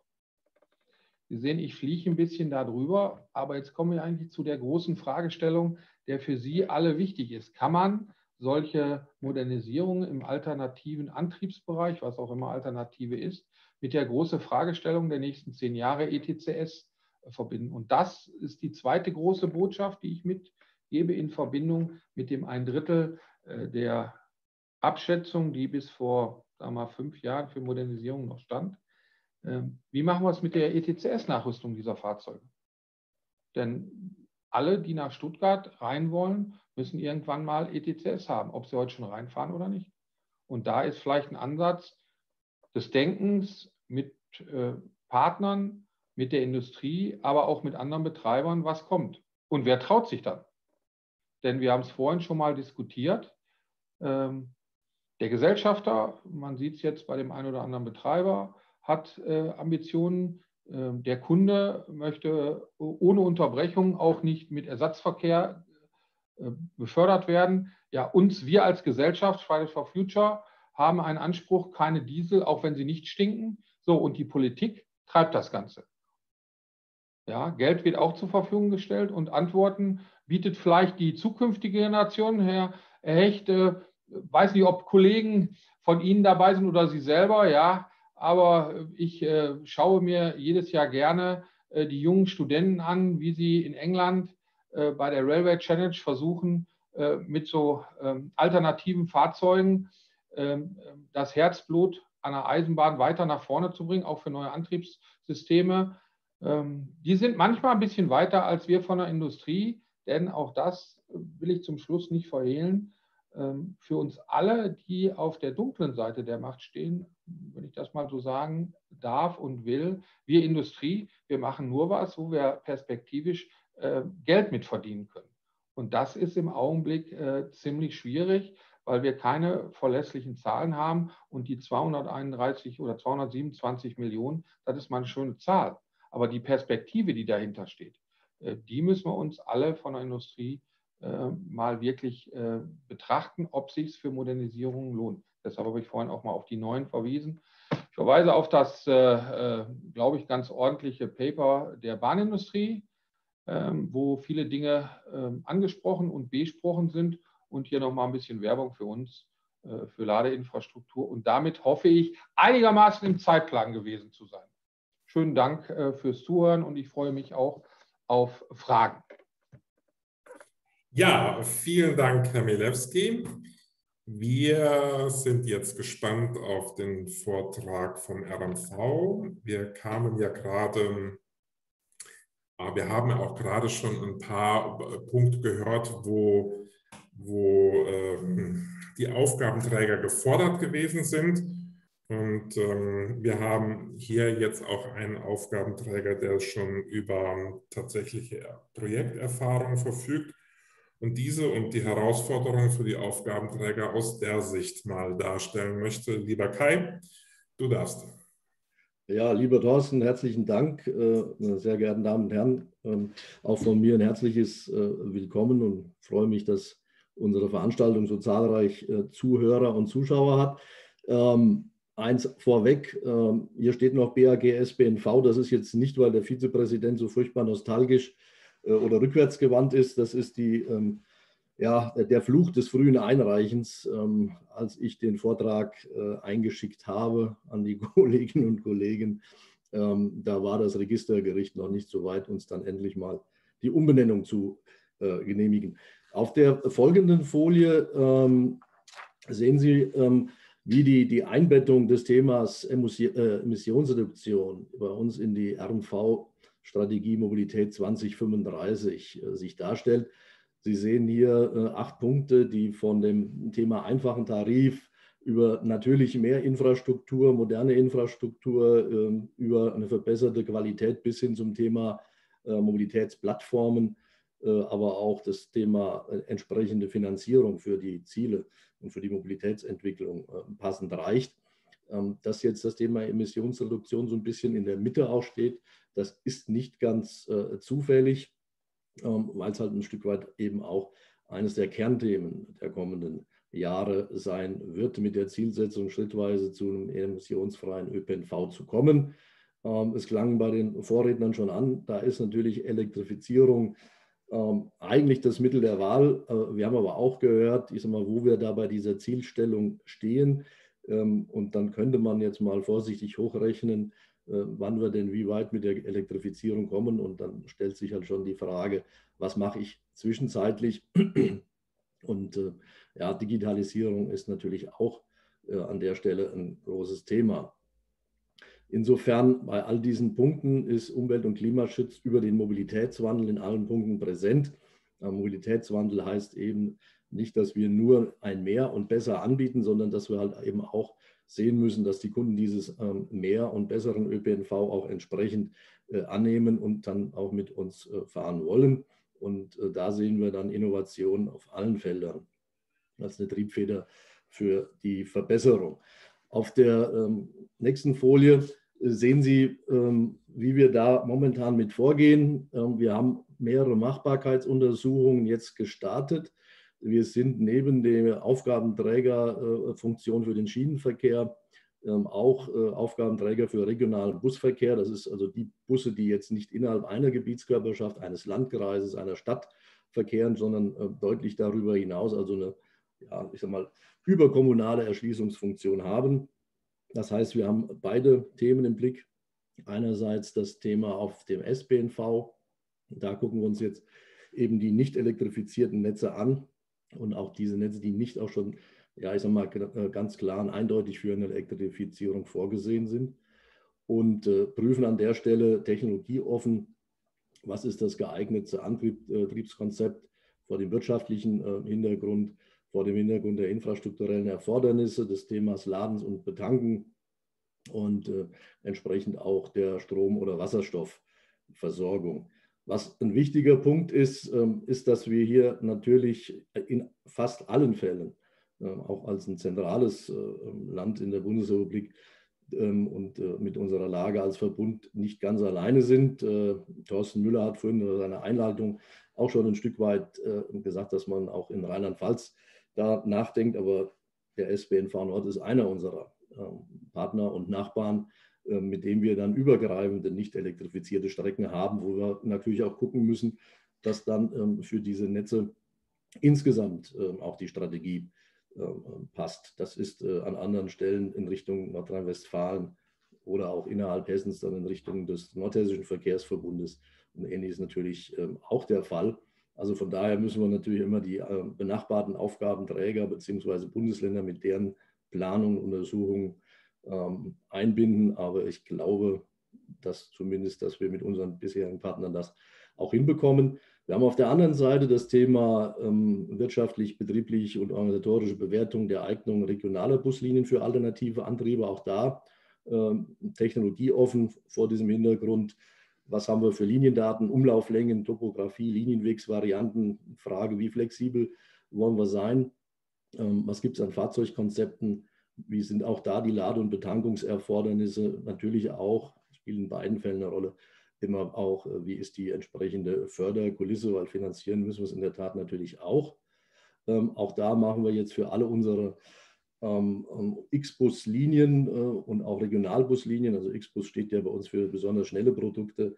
Die Untersuchung, ähm, welche Antriebstechnologien da entsprechend vorteilhaft sind. Da sind wir mittendrin. Das ist äh, in beiden Fällen so, dass die Fahrzeugmanagement äh, GmbH dies für den Rhein-Main-Verkehrsverbund tut. Ja, auf der nächsten Folie nur ganz kurz zum Thema Busnummer, bevor ich dann zu dem eigentlichen äh, Projekt komme. Ähm, da haben wir auch ähm, das Thema Brennstoffzelle. Ähm, momentan mal zwei Busse in der Beschaffung. Das ist einfach, äh, so wie es hier auch steht, Lernwerkstatt. Das geht darum, dass wir dann diese beschafften Busse einfach auch mal den privaten äh, Busgewerbe innerhalb dieses Landkreises Gießen, vielleicht auch ein bisschen darüber hinaus, ja, zur Verfügung stellen wollen, um einfach mal ja, zu erproben, äh, Umgang mit diesen, mit diesen Brennstoffzellenbussen. Die, kommunalen Verkehrsunternehmen haben da ja äh, zum Teil schon äh, Erfahrung, sowohl mit Batteriebetrieb als auch mit Brennstoffzelle. Ähm, Wiesbaden, Frankfurt, aber auch bei uns Groß-Gerau äh, haben da auch klare Strategien, meistens ein Mix ähm, äh, aus Wasserstoff und Batteriebetrieb. Die privaten Busunternehmen, das sind nur einige wenige und da wollen wir auch die Möglichkeit geben, indem wir ja, wechselnd zwei Fahrzeuge mal bereitstellen, einfach da Erfahrungen zu sammeln, was heißt das mit Instandhaltung ähm, und ähm, entsprechend ansonsten auch äh, im Betrieb. Äh, auf der äh, nächsten Folie kommen wir dann zu unseren Brennstoffzellenzügen auf dem Taunusnetz. Ähm, das hat eine Geschichte. Wir haben ja eben schon gehört, äh, am liebsten sollten wir es sein lassen. Das haben wir etwas anders gesehen. 2014 ähm, kam die Idee in der Tat ja von Alstom zu sagen, wir ähm, stellen da mal was auf den Entwicklungsstand ähm, und wir würden, wenn es zumindest die Perspektive gibt, diese Fahrzeuge oder das, was wir da entwickeln, auch einzusetzen, dann würden wir auch an den äh, Bund herantreten mit der Bitte um eine entsprechende Förderung für die Forschung und Entwicklung. Es war so, dass sich damals äh, drei Bundesländer, Baden-Württemberg, Niedersachsen und Nordrhein-Westfalen, bereit erklärt haben, einen Letter of Intent zu unterzeichnen, ähm, in dem quasi drinsteht, wenn denn die Fahrzeuge einen adäquaten Preis haben, wenn die eine entsprechende Reichweite haben äh, und wenn die natürlich auch eine technische Reife haben und wir haben ein in der Zeit liegendes, ähm, ja, passendes äh, Projekt der, der Ausschreibung mit entsprechenden neuen äh, Fahrzeugen, wo bislang Diesel fährt, dann würden wir dem nahe treten, ich sag mal, einen Einsatz da zumindest zu ermöglichen. Das hat äh, für das Bundesland Hessen hat das der Rhein-Main-Verkehrsverbund äh, ebenso unterschrieben. Wir hatten von Anfang an relativ klare Vorstellungen, ähm, Minimum 600 Kilometer, ähm, wie gesagt, eine gewisse Preisobergrenze, ähm, die wir, die wir gesehen haben. Und in der Tat am liebsten natürlich auch schon mal pilothaft erprobte Einsätze erster Fahrzeuge, um damit, ja, ich sag mal, das Risiko nicht gar zu groß werden zu lassen. Innovation ist schön, ähm, es hat aber natürlich auch die eine oder andere äh, schlaflose Nacht bis dahin, bis es eine Innovation auch dann tatsächlich ins Feld geschafft hat. Ähm, wir haben dann parallel dazu ähm, bei uns Untersuchungen zum Thema Wasserstoffversorgung und Möglichkeiten der Betankung, äh, Frage auch der Wirtschaftlichkeit, also was darf der Wasserstoff kosten äh, und auch der betrieblichen Eignung angestellt. Es gab damals dann auch die Diskussionen der Förderbarkeit entsprechend äh, über das Investitionsprogramm des Bundes, ein Stück weit aber auch durch Hessen. Wir müssen ein bisschen was an der Infrastruktur tun. Ähm, und wir haben dann damals auch für diese Förderung äh, ein, indikatives Vergleichsangebot eines Dieselfahrzeugs eingeholt, um zu gucken, ähm, in welcher, äh, äh, welcher Größenordnung wird etwa dieses Delta des Fahrzeugpreises liegen ähm, und wie groß ist dann möglicherweise dieser 40 Prozent Förderanteil des Unterschiedsbetrages im Kaufpreis. Ja, wir haben dann auch äh, die Frage uns überlegt, äh, wenn wir Fahrze äh, entsprechende Fahrzeuge beschaffen, äh, in welchem Vertragsdesign werden wir das tun? Äh, wir haben uns dann relativ schnell auch nach Rücksprache mit dem Markt, also mit den Eisenbahnverkehrsunternehmen bei uns im Markt, dazu entschieden zu sagen, wir machen aufgrund der ja, Neuartigkeit äh, und des doch durchaus noch damals ähm, vorhandenen der Unsicherheit ein Verfügbarkeitsmodell. Das heißt, wir kaufen nicht nur die Fahrzeuge, sondern der Hersteller ist auch verantwortlich für die Instandhaltung oder für die äh, jederzeitige Verfügbarkeit der entsprechenden Fahrzeuge für das Betriebsprogramm und äh, für die Betankung ähm, und damit auch für die äh, Wasserstoffbereitstellung. Wir haben 2018, nachdem 2016, glaube ich, der erste Prototyp ähm, äh, des Islands ja dann zumindest auch mal auf der Innotrans war, wir haben 2018 eine Ausschreibung veröffentlicht für Wasserstofffahrzeuge. Und wir haben dann in 2019 ähm, auch den Zuschlag an ein Konsortium von Alstom und äh, Infrasurf, die einen ähm, ja, Industriepark äh, im Raum Frankfurt Höchst äh, betreiben und die entsprechend für die Betankung und die Wasserstoffbereitstellung ähm, verantwortlich zeigen, vergeben. Wie gesagt, das umfasst auch die Instandhaltung für 25 Jahre und die Wasserstoffversorgung auch für 25 Jahre. Ähm, was kommt für einen Wasserstoff zum Einsatz? Das ist zunächst mal äh, sogenannter weißer Wasserstoff, also Wasserstoff, der ähm, als äh, Abfallprodukt bei der Chloralkali-Chemie entsteht. Ähm, wir hatten zunächst vorgesehen, auch äh, mit Blick auf äh, mögliche Kosten, dass äh, wir eine, ähm, eine, Zweitversorgung aus ja, Erd mit Erdgasreformierung aufbauen. Wir haben uns dann aber mittlerweile umentschieden und Infrasurf wird einen entsprechenden 5 ähm, Megawatt Elektrolyseur aufbauen, der dann auch mit entsprechender Zertifizierung mit grünem Strom versorgt werden kann. Ähm, das äh, ist ein, Punkt, den haben wir quasi dann äh, im Projekt nachgesteuert. Ähm, was wir auch gemacht haben, wir haben die Finanzierung der Fahrzeuge entsprechend vergeben. Wir finanzieren die fremd. Wir machen dann entsprechende Ausschreibungsverfahren auch äh, für diese Fremdfinanzierung. Das haben wir parallel quasi unmittelbar nachdem äh, der, der Hersteller das Fahrzeug und der Preis feststanden auch noch gemacht. Ähm, mittlerweile ist äh, die Tankstelle im Aufbau. Ähm, eine Ersatztankstelle mobil ist auch im Aufbau. Ähm, auch der Elektrolyseur ist schon im Werden. Wir werden jetzt im dritten Quartal noch die Betriebsleistungsvergabe ähm, für das Taunusnetz, für die hier gezeigten Linien in, äh, in, an den Start bringen. Und was in 2022 dann noch passieren muss, ich hatte es angedeutet, wir brauchen für eine zusammengeführte Bereitstellung zum Betanken der Fahrzeuge noch ein paar Weichen, die wir im Bereich auch von Höchst noch nachrüsten müssen. Das wird auch in 2022 passieren. Und dann, wenn es alles weiterhin so gut läuft, werden wir Ende 2022 diese 27 Züge auch haben, und dann in den Einsatz bringen. Auf der nächsten Folie, äh, hier sieht man nochmal das Fahrzeug, äh, den ähm, Island 54 ähm, mit einem 76 cm Einstieg. Wir haben die Ausstattung, die wir bei uns äh, im RMV standardmäßig haben, also mit WLAN ähm, unentgeltlich, mit einem modernen Fahrgastinformationssystem, mit Ausstattung mit Steckdosen, Fahrerassistenzsysteme, denke ich, ganz wichtig, auch beim Thema alternative Antriebe. Eine entsprechende Sitzplatzanzahl, also wir werden auch eine Kapazität, äh, kapazitative Ausweitung äh, ähm, auf den Strecken dann mit diesen größeren Fahrzeugen haben. Bislang sind ähm, sind 41 beziehungsweise also diese 120er Größenordnung an Fahrzeugen unterwegs. Ähm, Rollstuhlplätze ist klar, Fahrradabstellplätze auch. Auf der nächsten äh, Folie hat man nochmal die ein oder andere äh, technische, äh, für wen das interessiert, auch nochmal Angabe 140 km Höchstgeschwindigkeit. Die installierte Antriebsleistung sehen Sie, ähm, zwei Tanksysteme pro Fahrzeug mit dem entsprechenden Druck und auch der Reichweite. Wir haben damals, als es losging, in der Tat, diese 600 Kilometer waren relativ schnell garantiert. Ähm, noch während der Verhandlungen sind äh, die zugesicherten Reichweiten hochgegangen. Äh, dann, als wir Zuschlag erteilt haben, lagen wir bei 1000 Kilometer. Mittlerweile ähm, wäre das äh, mit einer Betankung wahrscheinlich ähm, noch höher. Also da hat sich sagen wir, durch die, die Anpassung des Fahrzeuges, was Gewicht angeht, aber auch durch äh, der ein oder andere Optimierung äh, eigentlich mittlerweile noch ein bisschen was getan, sodass wir äh, deutlich in Vergleichbarkeit zum Diesel liegen. Ich hatte schon gesagt, äh, Versorgungskonzept. Wir haben im Industriepark Höchst Wasserstoff als Koppelprodukt der äh, Chloralkali-Elektrolyse. Das heißt, wir haben ausreichende Mengen vor Ort äh, und wir haben sie auch durchaus wirtschaftlich vor Ort. Das ist schon ein Punkt. Das ist nicht überall der Fall ähm, und das macht natürlich an der Stelle ähm, viel aus.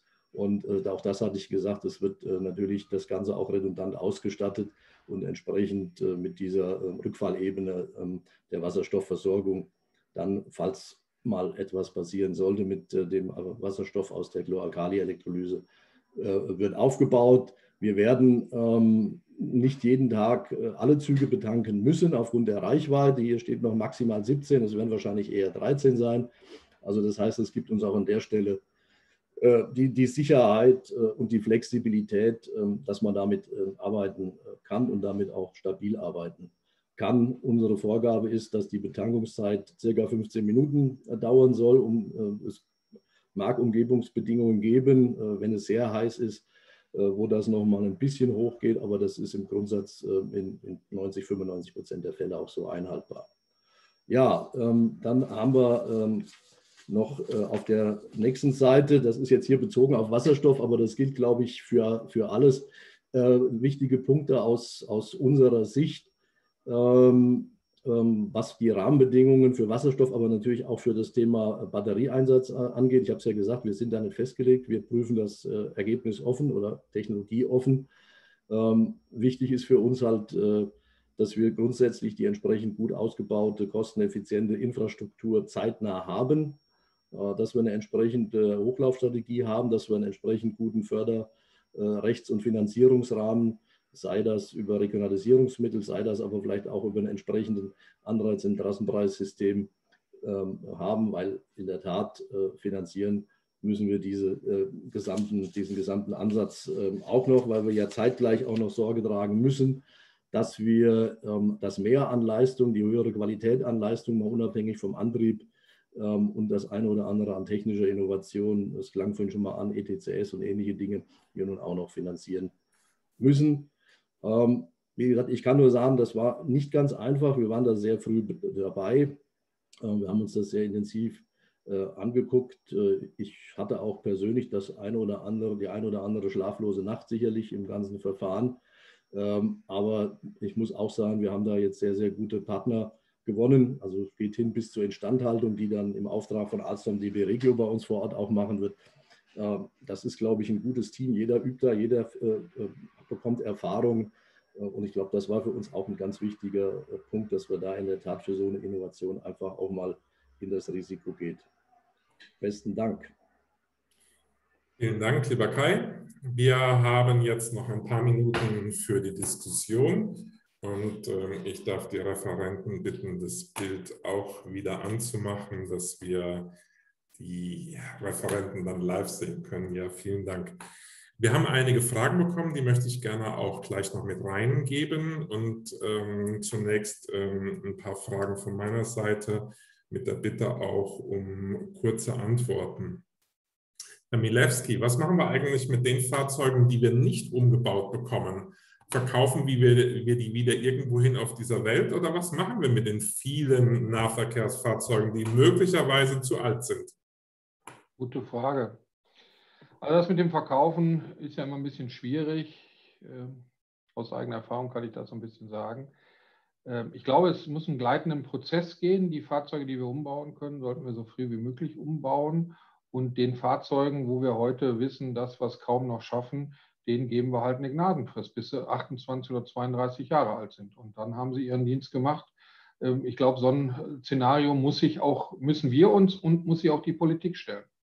Also verschrotten heißt es dann. Äh ah, nach einer angemessenen Lebenszeit. Also ich ja, denke genau. mal, wir werden immer noch Strecken haben und man sieht es ja bei den Dieselbussen, ja. Also wir haben in dem Jahr werden wir ungefähr 1000 elektrische Busse kriegen, aber immer noch ein paar tausend mehr Dieselbusse. Also ich denke auch bei den Schienenfahrzeugen, wir haben ein bisschen Zeit und äh, die Fahrzeuge sollten wir langsam auslaufen lassen. Mein Ansatz. Vielen Dank. Herr Hecht, ähm, ja. zum Umbau von so einem ja. Fahrzeug. Ja. Ähm, sind die Fahrzeuge eigentlich, die wir heute im Nahverkehr haben, die Dieselfahrzeuge, sind die eigentlich wirklich geeignet? Können die noch umgebaut werden? Sie haben ja so einige Erfahrungen in Sachsen. Ja, ja, ja. Also auch das Stichwort Zulassung möglicherweise. Ja, ja. Zulassung ist natürlich ganz wichtig. Äh, die Frage ist auch, äh, wirkt die Industrie mit? Also die Zugsteuerung ist ein ganz, ganz essentieller Teil. Äh, das sieht man als, als Fahrgast gar nicht. Und wenn es funktioniert, dann interessiert es auch niemand. Aber, aber das ist schon ein ganz, ganz wesentlicher Punkt. Also ähm, man, man, muss sich da auf jeden Fall äh, intensiv äh, darum kümmern. Treten auch neue Themen auf, äh, zum Beispiel der Wärmedurchgangswert. Diese alten Akkutriebwagen, die hatten alle noch eine Heizöl- Heizung, dass im Winter dann eben nur die Batterie die, die, tiefe Temperatur aushalten musste, aber nicht noch zum Heizen des Innenraums belastet wurde. Das ist heute unvorstellbar, dass man da im Batteriezug noch einen, einen äh, Brenner für Heizöl einbaut. Aber, aber das war mit ein Grund, warum diese Fahrzeuge damals so gut funktioniert haben. Also was mich stark wundert, ist, dass über Batteriezüge gesprochen wird und man spricht nicht über den K- oder U-Wert, also den Wärmedurchgangswert. Ähm, wir haben eben äh, im Winter ganz, ganz wesentlich mehr Leistungsbedarf, also kann bis zu 30, 40 Prozent mehr sein. Die Batterie ist schlechter und das kann ich schon mit, mit, dem, mit der Wärmedurchgangszahl abfedern. Also meine Erfahrung ist, wenn ich mit Fahrzeugbestellern rede und ich frage nach ihrem Wärmedurchgangswert, dann kommt da nichts. Und gerade die Türen, die Türen sind sehr, sehr, sehr, sehr heikel. Das sind äh, ja, Senken für die, äh, für die Energie äh, im Winter. Klimaanlage ist nicht so schlimm, weil ich da ja eine relativ kleine Temperaturdifferenz habe. Also da, da genügt äh, eine schlechte ähm, Isolierung. Äh, das Thema Zulassung ist eben dann äh, umso wichtiger, je kleiner die Stückzahlen sind. Also äh, es ist aus meiner Sicht hoffnungslos, wenn ich eine Handvoll Fahrzeuge habe und dann, dann erschlagen einen die Zulassungskosten. Ähm, es hat sich aber doch in den letzten Jahren ja wirklich eine Konzentration auf mehr wenige Typen ergeben. Und da wäre der Wunsch, dass man sich zusammentut und dann eben die Zulassungskosten. Ähm, also nur einmal ist, ist vielleicht zu viel gesagt oder zu viel erwartet, aber doch wesentliche Teile äh, der Zulassung dann äh, für, für alle nutzbar machen kann und äh, so durch Zusammenschluss dann auch die Kosten im, im Rahmen hält. Und wie Herr Milewski gesagt hat, wir müssen anfangen, wir müssen loslegen. Also im Moment ist das Zuwarten schrecklich und äh, viele, viele sehen auch die Aufgaben nicht, die da auf sie zukommen. Äh, es gibt da viele Ingenieurbüros und ähm, ja, ich muss auch der Industrie sagen, äh, verschiedentlich haben sie natürlich kein Interesse. Neubau ist effizienter wie ein Umbau. Äh, Umbau braucht immer viel Platz und, und äh, hat ein relativ großes Risiko. Aber was man natürlich machen kann, auch aus meiner Industrieerfahrung, dass ich dann äh, eine Neubaumaßnahme mit einem Umbau von einem älteren Fahrzeug äh, kombiniere und so dann auch gewissen Druck auf die Industrie ausübe, gerade was die Leittechnik angeht. Wir haben ja leidvolle Erfahrung im Moment, dass viele Neubaufahrzeuge nicht funktionieren, weil die Leittechnik äh, nicht, nicht richtig überlegt worden ist. Und so ein, so ein äh, Desaster kann man natürlich beim Umbau dann auch erleiden, wenn man das nicht ordentlich plant. Also äh, den Aufwand nicht unterschätzen, aber ich möchte an meine zweite Folie erinnern. Unsere Fahrzeuge, die Dieselfahrzeuge sind ganz, ganz schlimme Emittenten. Ich kann nicht auf der einen Seite sagen, wir sind umweltfreundlich als Eisenbahn. Gerade wenn ich, wenn ich an, Remotoris, nee, an Revitalisierung denke, dann äh, haben wir bisher in der Regel einen deutlichen Lärmanstieg den Anwohnern zugemutet. Und wenn man jetzt auch noch dann die Fahrzeuge, äh, die revitalisierten Strecken mit Diesel betreiben, dann tun wir auch noch äh, die CO2-Emissionen äh, verschlimmern. Das kann eigentlich nicht sein. Also ob man ähm, und dann Fahrleitungen noch ganz wichtig. Unsere Elektrifizierung ist auch deshalb so teuer, weil es nur zwei Fahrleitungstypen gibt, eine für 100 und eine für 200 Stundenkilometer. Die für 100 ist von 1950, muss ich mal reintun, Konstruktion von 1950 und wegen Ersatzteilhaltung hält man daran fest. Äh, die von, von, ähm, für 200 ist für ähm, von 1965, also ein bisschen jünger, aber die ganzen modernen Methoden, mit denen ich effiziente äh, dynamische Systeme entwerfe, das, das ist damals alles gar nicht eingeflossen. Und es gibt nicht die richtige Geschwindigkeit. Wir brauchen für Regional, Regionalstrecken 120, 140.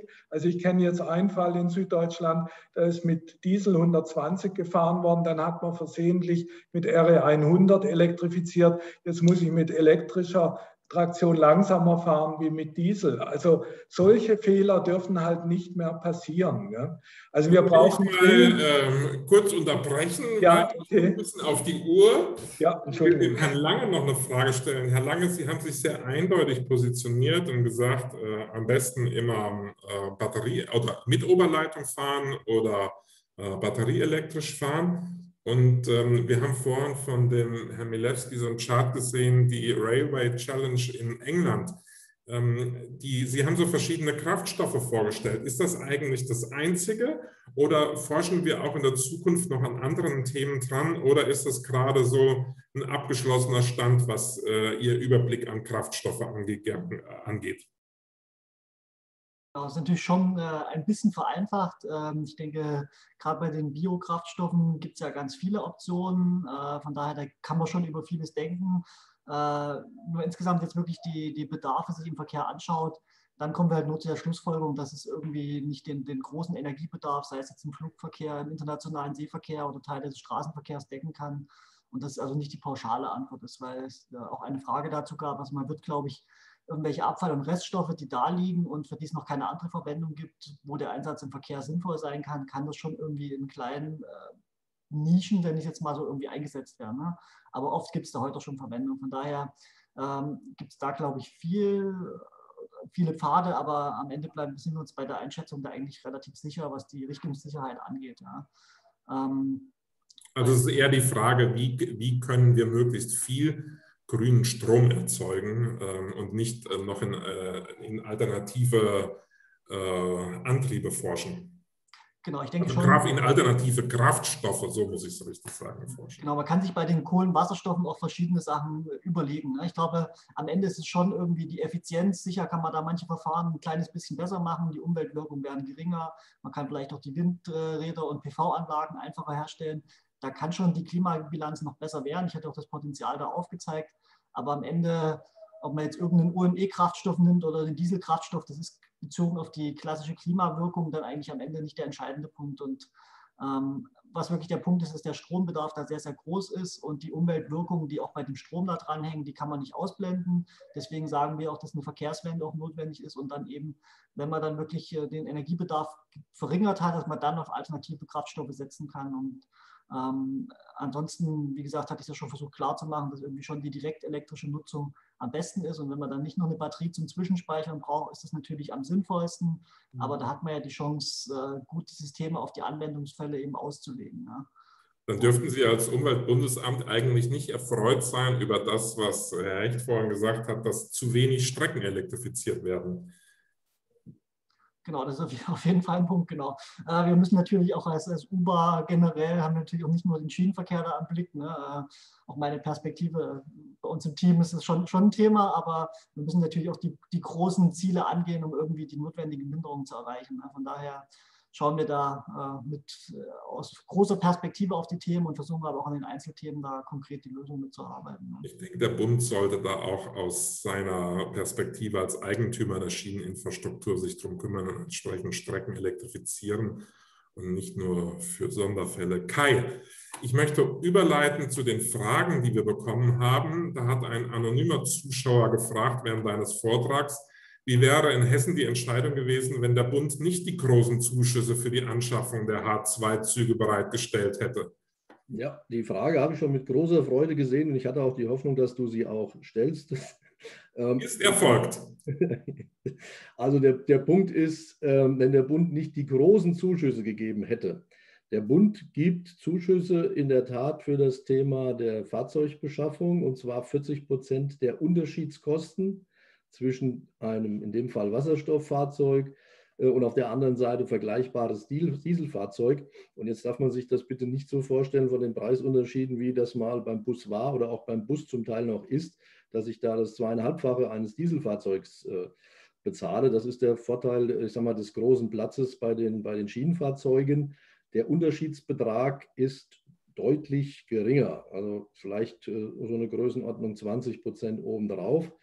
Dann äh, sagen wir mal, sponsert uns der Bund leider auch nicht alle Fahrzeuge. Umgerechnet tut er das bei 23 Stück, weil das, was äh, ich glaube, Thorsten, du vorhin gesagt hast zu dem neuen Programm, auch da gilt, äh, bei 15 Millionen spätestens ist Schluss, weil sonst müsste ich es notifizieren und äh, notifizieren wollte man es damals schon nicht. Das heißt, ähm, es ist überschaubar. Also mit Blick auf das Gesamtprojekt äh, sind die knapp 14,7 Millionen nicht unbedingt der entscheidende Faktor. Umgekehrt sage ich aber auch, wenn man sieht, ähm, was zum Beispiel äh, im Bereich ähm, ähm, MIV, Elektromobilität und ähnliches gefördert wird, bin ich schon der Meinung, äh, dass eine Förderung an der Stelle für den SPNV, ÖPNV durchaus auch angemessen ist und bin auch froh über dieses jetzige Programm. Aber das war jetzt nicht der entscheidende Faktor. Wie gesagt, ähm, Förder, also die Förderwürdigkeit unseres Projektes haben wir schon gesehen. Es gibt auch noch eine Förderung, muss man dann auch noch dazu sagen, ein Stück weit in ähnlicher äh, Schüttung für das Thema der, der, der Tankstelle oder der Tankstelleninfrastruktur. Das ist aber natürlich sehr überschaubar, weil die Tankstelleninfrastruktur selber auch nicht so sonderlich äh, groß ist. Und äh, letzter Punkt, das sind dann die, die Weichen, die ich erwähnt hatte, die eingebaut werden müssen. Ähm, die gehen quasi auf das Landeskontingent ähm, aus äh, Luft 2 beziehungsweise Luft, das ist noch die Luft 2 aus den ähm, ähm, dortigen Mitteln nach, dem, äh, nach der Ziffer 8.7, also die Länder, äh, Länderprogramme. Ähm, das ist aber noch sehr viel überschaubarer, äh, was dann da reinfließt. Also der große Teil ähm, ist schon in der üblichen Art und Weise dann quasi aus äh, Regionalisierungsmitteln über die Laufzeit zu finanzieren.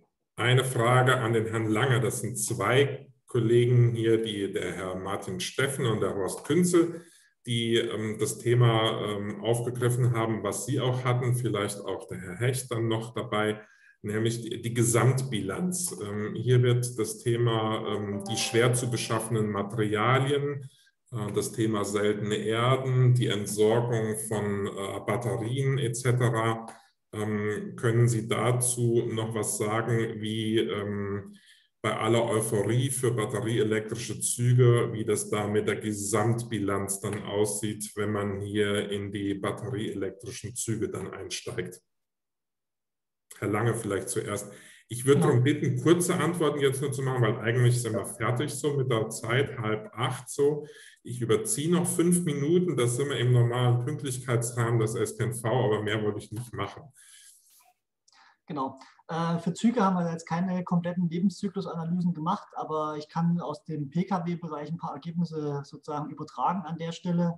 Ähm, es ist schon so, äh, dass wir da komplette Lebenszyklusanalysen machen, also die Rohstoffproduktion uns anschauen, die entsprechende Umweltwirkung bilanzieren, dann die Nutzungsphase und dann entsprechende ähm, End-of-Life-Betrachtung, wenn also das Fahrzeug verwertet werden muss Und ähm, das ist bei den entsprechenden Klimabilanzen äh, dann noch enthalten. Und auch dann hat die Elektromobilität oder die direkte Nutzung in batterieelektrischen Fahrzeugen jetzt bei dem Beispiel ähm, deutliche Vorteile. Es gibt durchaus Umweltwirkungskategorien, wo ähm, mehr Wirkungen auftreten. Die will ich nicht verneinen an der Stelle. Und natürlich gibt es nicht nur Umweltwirkungen, sondern auch soziale Fragen, die an den Ressourcen hängen.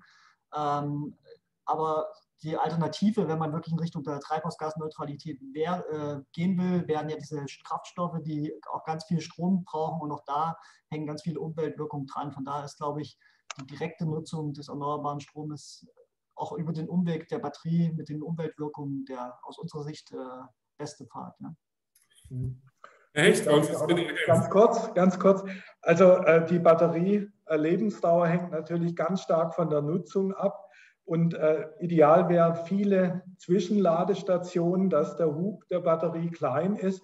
Also ich kann dann Lebensdauer zwischen einem halben Jahr und zehn oder gar mehr Jahre als zehn äh, erreichen. Und wir haben ja jetzt die Situation, dass bei Fahrleitungsanlagen, die kürzer als 15 Kilometer sind, nicht unbedingt ein Planfeststellungsverfahren äh, gemacht werden muss. Also deshalb das Plädoyer, möglichst viele 50 äh, Hertz, 15 kV Zwischenladestationen vorsehen, dass der Hub in der Batterie klein wird und dann diese Probleme minimiert werden.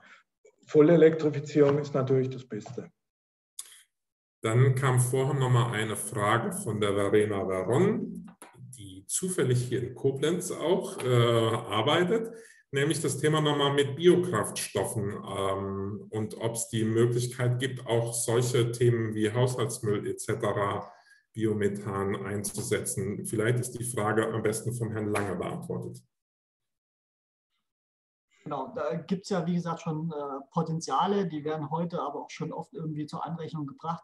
Viele mhm. Biokraftstoffe, die heute diskutiert werden, da spricht man irgendwie über, was ich, so Used Cooking Oil, also genutzte Öle, die man dann irgendwie weiter veredelt, um sie dann irgendwie im Straßenverkehr einzusetzen. Gerade das ist eigentlich der Bereich, wo aktuell schon ganz viele Mengen genutzt werden und die aber aus Umweltsicht ganz kritisch sind, weil äh, dann sozusagen die Umweltwirkung dann wirklich sehr, sehr kritisch ist und das auf, dem, auf, den Ölmärkten halt trotzdem irgendwie zu negativen Umweltwirkungen führt. Das sind, glaube ich, die Mengen, die leider oft diskutiert werden und auch die Biokraftstoffe, die in vielen Bereichen irgendwie als Nutzung oder als äh, Chance parallel diskutiert werden. Das ist eigentlich das große Problem. Wie gesagt, irgendwelche Abfall- und Reststoffe, die durchaus da sind, die kann man nutzen. Da spricht aus unserer Sicht nichts dagegen. Man muss immer breit auf die Nachhaltigkeit schauen und die Mengen sind dann oft eben nicht so groß, dass es äh, sinnvoll eingesetzt werden kann. Ja. Dann eine Frage an den Herrn Milewski. Hier schreibt der Christoph Pasternak, ähm, dass die Fahrradelektrik ist angesichts der Dauer der Umbauarbeiten und der Kosten ein Euro ein Meter Euro pro Kilometer, 1000 Euro pro Kilometer. Nein, keine Alternative, eine Million Euro pro Kilometer, keine Alternative im Regionalverkehr auf nicht elektrifizierten Strecken. Es bleibt also doch bei batterieelektrischen Wasserstoff. Jetzt könnte ja die Bahnindustrie gerade auch innovativ bei dem Thema Fahrradelektrik einsteigen. Ähm, welche Innovationen haben Sie uns heute noch zu verkünden zu dem Thema, wie die Bahnindustrie Fahrradelektrik modernisieren kann? Der Herr Hecht hat ja vorhin auch mal noch etwas mit eingeworfen. Vielleicht zuerst Sie und dann möchte der Herr Hecht noch ergänzen. Ja, das ist natürlich wieder passend. Ja, ich rufe sofort meinen Kollegen Michael Bernhard an, äh, der da äh, spezialisiert drauf ist. Der baut solche Dinge. Ähm, primär hat der Professor Recht schon recht. Äh, das Ganze in Deutschland ist sehr bürokratisch und sehr steif. Ja, wir haben ein Regelwerk, was sich sicherlich auch bewährt hat. Und wir dürfen nicht vergessen, ja, in der Schiene passiert relativ wenig. Ähm, und deshalb will ich diese ähm, über Jahrzehnte gewachsene Regelstruktur nicht äh, allzu stark kritisieren, aber wir müssen uns sicherlich in Summe überlegen, ob es da nicht Möglichkeiten gibt, äh, dort schneller zu werden. Günstiger ist immer eine Frage. Ich glaube, günstig ist immer eine Frage der Betrachtungsweise. Wenn ich nämlich überlege, wie lange so eine Oberleitung dann genutzt werden kann, ist, glaube ich, eine angemessene Investition, die zum Beispiel auch mal der Staat tragen kann.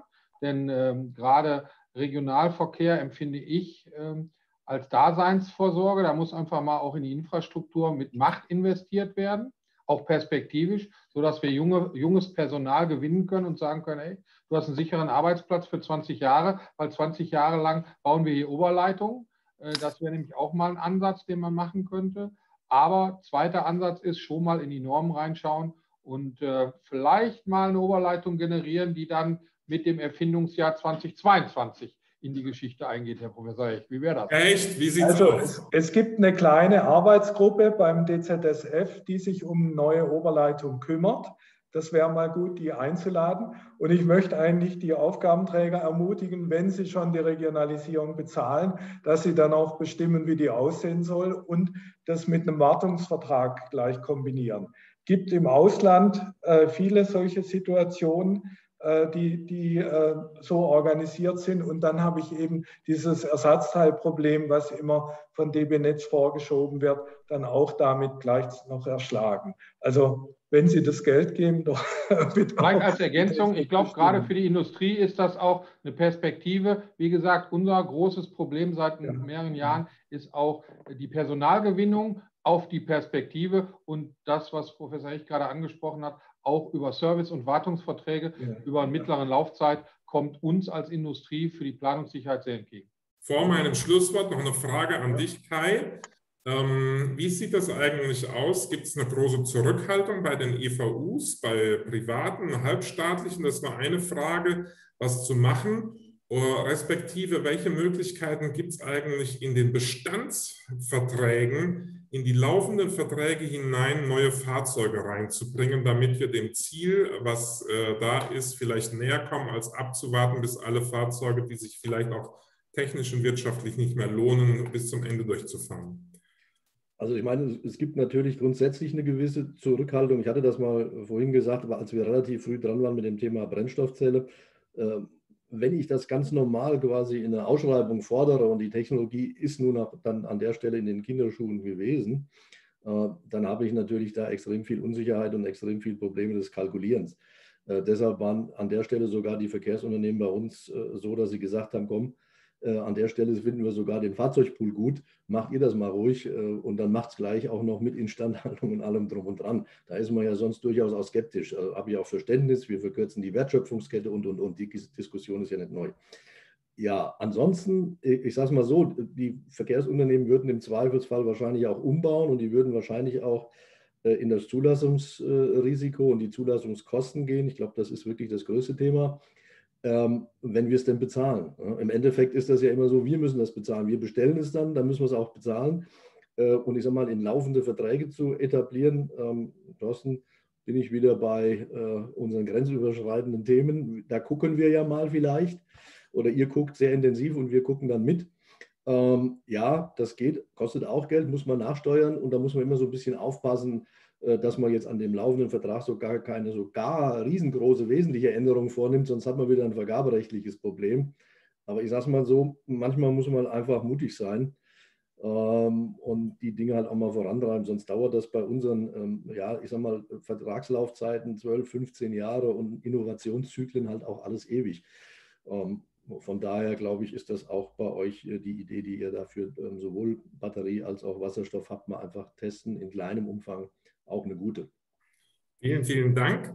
Ähm, ich glaube, es ist ziemlich deutlich geworden, was der Konsens in dieser Runde ist. Äh, Herr Hecht hat das irgendwie mal auf Seite 15 drauf gehabt. Fahrdrad nutzen, wo vorhanden, wenn irgend möglich, schnell weiter elektrifizieren. Das ist, glaube ich, Botschaft 1, die wir heute mitnehmen können. Botschaft 2, ähm, die habe ich jetzt nicht als Zitat hier, heißt aber, wenn das nicht machbar ist, dann probiert, wenn immer, batterieelektrisch zu fahren, wenn das möglich ist. Wenn das nicht möglich ist, dann geht auf die dritte Alternative und arbeitet mit grünem Wasserstoff und macht dort, dort die Fahrzeuge dann, um wegzukommen von dem Diesel. Und jeder mag für sich dann prüfen, ob er äh, die Bestandsfahrzeuge umbaut oder mit neuen Fahrzeugen reingeht. Haben Sie vielen Dank, die Referenten, die Zuhörer. Wir haben jetzt ein bisschen Schwund gehabt so in den letzten Minuten. Ich möchte noch ganz herzlich Dank an drei Personen loswerden, ohne die geht das nämlich alles nicht. Technik hat der Robert Dorn im Griff, bei uns von der Geschäftsstelle. Vorbereitung der Veranstaltung im Hintergrund äh, hat die Renate Bader gemacht. Und äh, unser Hauptgeschäftsführer Frank Zerban thronte über allem drüber als Supervisor dieser Veranstaltung. Ich möchte mich bei den dreien ganz, ganz herzlich bedanken und äh, danke den Referenten für die wunderbaren Vorträge. Es war eine Frage schon, werden die zur Verfügung gestellt? Ja, das kommt bei uns auf der neuen Website des Bundesverbands Schienennahverkehr. Allen einen schönen Abend, viel Freude bei Fußball, Tennis und anderen Aktivitäten. Bis zum nächsten Mal. Talk im Takt mit dem Bundesverband Schienennahverkehr. Tschüss. Tschüss. Danke.